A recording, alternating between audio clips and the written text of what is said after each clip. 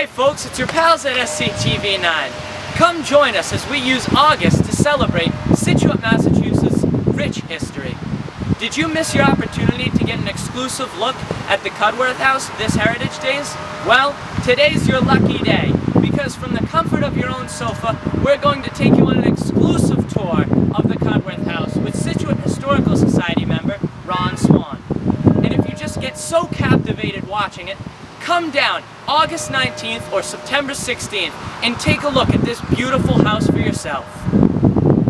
Welcome to the Cudworth House. Uh, this is a barn loom over 300 years old.